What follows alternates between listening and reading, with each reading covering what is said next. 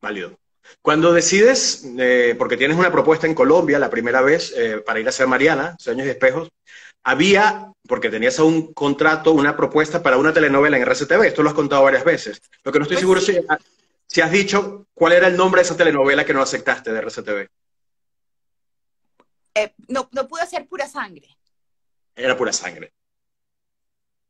Ah, Mm. Wow, hubiese sido probablemente una pura sangre totalmente distinta también, igual de buena. Pues Lilibet, bueno, pero eso es otro, también meterse en ese personaje como lo hizo Lilibet, eso también son palabras mayores. O sea, Sí, sí, yo no me imagino a alguien que lo pudiera hacer mejor que Lilibet. ¿Sí me Y tal vez O sea, no hubiese habido otra-. Eso, y no hubiese habido otra que hiciera una Mariana tan buena y todo lo que significó para ti eh, a nivel personal y profesional haberte ido a hacer sueños de espejos. La vida quería que fuesen Claro. esas las fechas. Pues me trajo, me, me, me, me, trajo a Colombia y, y, y, y decidió que me quedara acá. Oye, antes de Cassandra y antes de muchas cosas hubo un unitario eh, de Salvador Garmendia que dirigía a Juan Santana, eh, Ajá.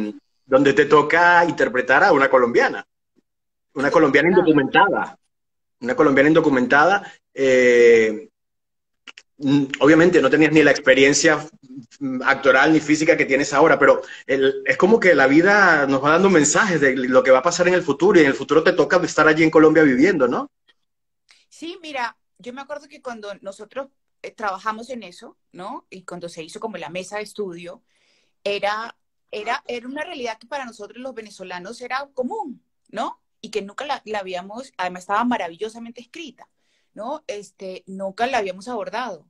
Y es eso mismo que yo trabajé en Mariana, en, en la indocumentada, que uno entonces empieza a entender del venezolano acá, inicialmente, pues a- a- ya no, porque ya uno lo vive, lo sabe, ¿no? Pero inicialmente entonces uno dice, sabes, es que la condición de inmigrante es una condición vulnerable, ¿no? Así en, en cualquier aspecto, ¿no? Porque pues estás sin tu red de apoyo, sin tu gente.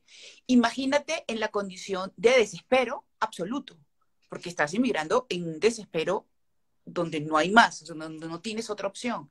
As- Así le pasó a los colombianos, también lo hicieron. Lo que pasa es que los, de una u otra forma, eh, la realidad de ellos era diferente. También expuestos a una violencia absurda, ¿no?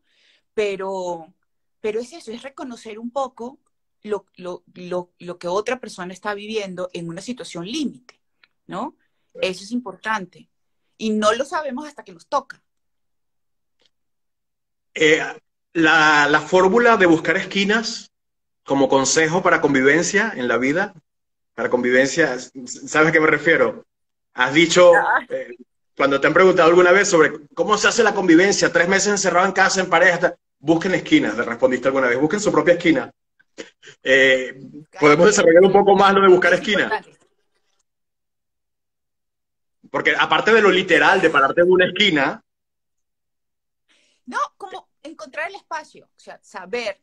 Yo lo que digo es, ojo, y te pasa con la pareja, y creo que te pasa, en mi caso, pues también te pasa con el hijo, que hay momentos en donde tus niveles de tolerancia están bajos.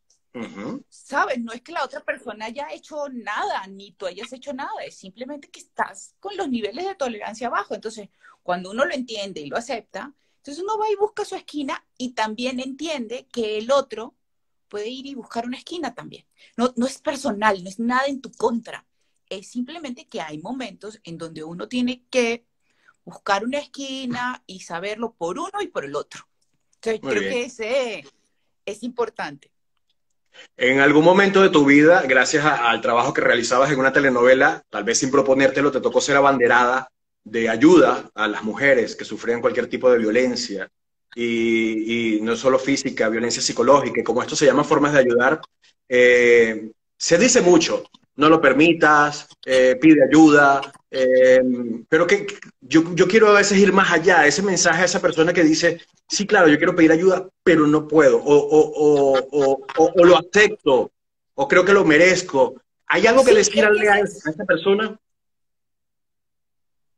que no lo mereces. O sea, una de las cosas de verdad que es, o sea, así tú, porque uno, uno, uno, uno como mujer o como hombre, ¿no? Cuando se siente agredido a veces cree que es que uno lo produce, ¿sabes? Que, que, que uno, para justificar, porque además lo está haciendo alguien a quien tú amas, a quien tú, por quien tú tienes un afecto. Entonces, reconocer que esa persona a quien tú le has depositado tu afecto te agrede, es mejor no entender por qué. Yo tengo la culpa, ¿ves? Porque encima, o sea, encima de traicionar mi afecto, ¿no? Yo tengo que justificarlo porque es que yo decidí quererlo y no, y no estoy recibiendo, o sea, me están maltratando. Entonces, claro, el proceso, es decir, me maltratan no porque no me quiera, sino porque yo lo merezco, ¿no? Y, y, y en ese sentido, desde, desde, desde todo punto de vista, es importante que nosotros sepamos que es que no merecemos ninguna agresión. Así como tampoco lo merecen que uno lo haga, ¿no? pero uno no merece que te agredan, ¿no? E, es, importante porque a, partir de allí, entonces tú entiendes por qué el otro lo está haciendo. O sea, no es tu responsabilidad. Entonces, ya sea porque está enfermo, ya sea porque tiene algún problema, y así consigues herramientas para decirlo y decir, no, es que yo no tengo, o sea, no es por mí, pero yo sí quiero ayudar. No sé, sea, porque a lo mejor el amor te da para decir, no, bueno, vamos a, pero desde, desde, con una perspectiva diferente, sin que tú estés involucrado y diciendo que a ti, o sea, que ha sido por tu culpa, porque no lo es. Entonces, de esa manera creo que puedes discernir mejor la situación y buscar una herramienta para salir de ahí o para ayudar o para solucionar ese problema porque si no te metes en un círculo vicioso, creo yo. Es por mi culpa, no lo vuelvo a hacer, pero, pero como no es por tu culpa, cualquier cosa que hagas va a producir esa, esa reacción en esa persona. Y yo creo que hay un punto fundamental, que si podemos ayudar a alguien con esto, es eh, cómo entrenar a la persona a quien le piden ayuda.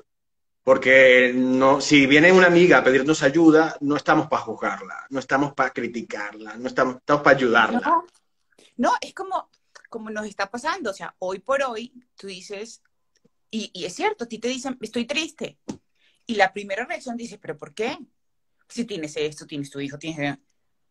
Pero no es, pero estoy triste. O sea, si, si, yo, si yo quisiera y yo lo decidiera, no quisiera estar triste. Es un sentimiento que no lo puedo controlar. Eso es. ¿No? entonces, claro, la, la, otra persona, uno no está, uno no, uno no tiene las herramientas. Siempre es bueno buscar a alguien y, lo que tú dices, o sea, entender que no te están pidiendo eh, opinión, simplemente te están pidiendo ayuda, ¿no? Simplemente te están contando. O sea, el, protagonista no, eres, no es quien ayuda, Eso sino quien está pidiendo la ayuda. Escuchar, lo primero escuchar y no juzgar. que además alguna vez, alguna vez decías